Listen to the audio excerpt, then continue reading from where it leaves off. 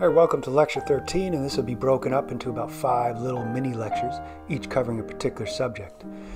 And so today we're going to go over some of the basics of neural tissue and the functional cell of the nervous system, the neuron. But I want to touch up on some of the difficulties that people have in understanding the nervous system. So most of the systems and organs within that systems have very easily understandable function. Your skeleton provides a framework along with your muscles, allowing movement of the body. Your digestive system digests food. Your lungs exchange gases. Your heart pumps blood. Your vascular system transports that blood. If 10 expert wrote books or chapters on any of those organs, they would all look pretty similar. Function would be similar. The terminology would be similar. The classification would be similar. At this point in history, we have a pretty good idea of how things work for most of our systems and organs. I'm going to go ahead and say the brain and the nervous system are a little different. I have four or five books on my shelf at home about the brain.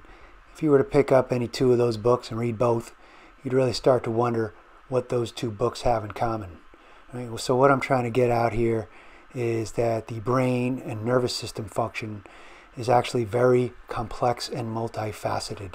So even with modern neural imaging techniques where we can correlate specific patterns of neural activities with certain behavior, it's still hard to understand how that relates to our subjective experience.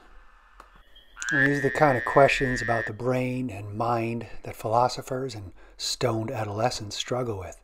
But we'll be taking a less lofty view and look at the brain with a more grounded perspective. Even keeping it as simple as possible, it can be difficult to discuss any one subject without first jumping ahead and using other terms that you haven't learned yet. So as you move along in these lectures, lectures, I encourage you to pause the video at any point when you encounter a term that we've not gone over yet. Make a note of those terms, keep a list, check your text, or ask me later what that term means, because it's going to be easy to fall behind quick as we go over this material. So let's start with the idea that your mind is a product of the brain, which is a soft, gelatinous organ, and like any biological entity, it is composed of cells. So human brain cells do not have any magical properties. In fact, most of what we know about neurons come from other animals, such as this rat brain slice that we see right here. Images such as these back at the turn of the 20th century by the uh, neuroanatomy superhero, Spanish neuroscientist Ramon Cajal, proved the brain adhered to the cell theory and was not some magical protoplasmic spirit fluid. It is indeed a piece of meat, although it is the most complex and amazing piece of meat in the universe. At least that's what my brain tells me. But again, I like to ground the concept of the nervous system by looking at more simple examples of what is ultimately nervous system function. And what nervous system function is really ultimately about is movement. That is, coordinated movement in a controlled fashion in multicellular animals. But movement in response to stimuli is a very basic biological function. Individual cells can detect stimuli by various receptors and move in response to that stimuli. Once you get to the level of multicellular animals, you'll see that cells become specialized to perform specific functions. Some cells will become specialized to detect environmental stimuli and pass that information on to other cells that may become specialized for movement. As animals become more complex and cells become further specialized, this allows networks of cells to form and allow more and more complicated movement. So these kind of cells that receive and pass on information are doing exactly what the functional cells of the nervous system do. And those functional cells are one of the two main cell types that make up neural tissue. Those functional cells are called neurons or neural cells. And then the other type of cells are the glial cells that support those neurons in various ways. So those are the two basic types. And within those two basic types, there's subtypes. There's three types of neurons based on their function, and six types of glial cells based on their location and function. We'll cover them later. The neuron anatomy, that is, the parts of these complex cells and their functional regions, will be core to everything we're learning here about the nervous system. so we'll talk about them first.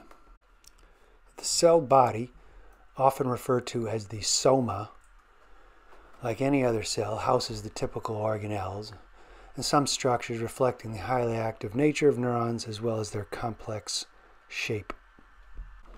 A so-called typical neuron, such as the one shown here, has numerous extensions or processes that branch from the cell body like the limbs on the tree.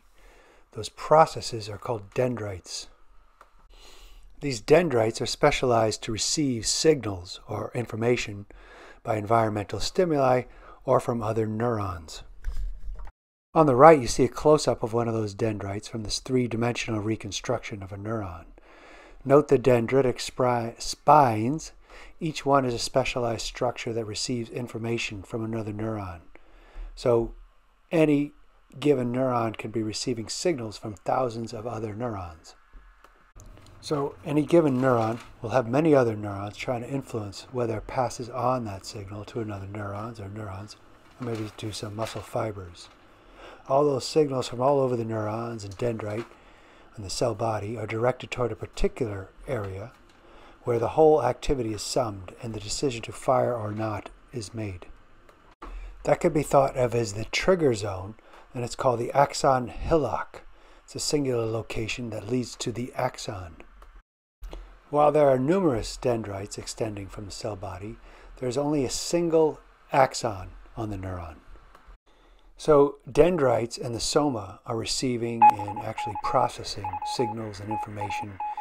The axon is only passing on that information. It's a conducting process of the neuron passing on a signal to the next target. So when you hear the term nerve fiber, it is referring to the axon. When you learn about nerves, you'll understand that they are bundles of axon. Within the spinal cord and brain, you'll learn about tracts and columns and white matter. All these are collections of axons transferring impulses. So these are basically cables transporting impulses from one place to another. Although there's only a single axon, the axon may branch off to connect to several targets or multiple locations on the same targets as shown here.